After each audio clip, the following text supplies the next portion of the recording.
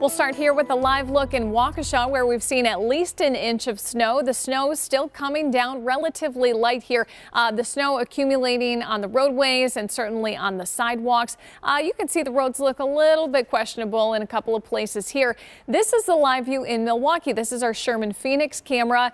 You can see as we look at the roadways here, you can see the rain coming down and quite a bit of water stuck on the roads. Uh, in between the roadways here, you can see a little bit of snow and some slush sticking to the roads, but uh, closer to the lakeshore, we're just not seeing much in the way of accumulation. Part of the reason for that, we've got warm temperatures, relatively warm and above the freezing mark from Kenosha through Milwaukee up towards Sheboygan. You get inland away from the lake, temperatures are a little bit cooler. As we switch it over to Storm 4 Max, you can see the impact that the temperatures are having and that wind coming off the lake. Milwaukee, we're seeing Kenosha even up towards uh, Port Washington where we're seeing more rain than we're seeing snow. You head farther inland though, we've got the snow that's coming down. It's relatively light as we look farther north here and then across uh, Walworth County out towards Rock County. The snow starting to lighten up in intensity. The back edge still a few hours away for most of us. This snow is going to taper off between looks like 8 and 10 o'clock tonight. It'll taper off from southwest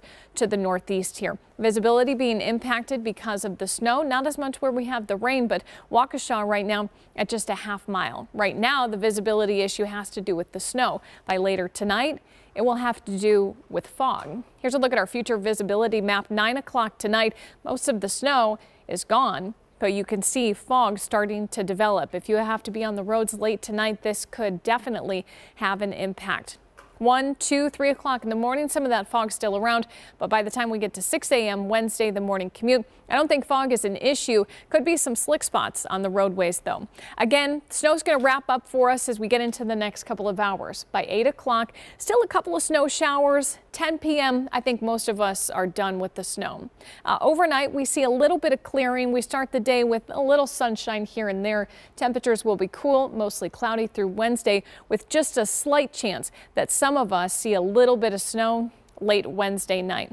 Here's your seven day forecast. Temperatures in the 30s as we head through the next couple of days. Pretty quiet Thursday, Friday, increasing confidence in the chance for snow as we head into the weekend along with a cool down. More news.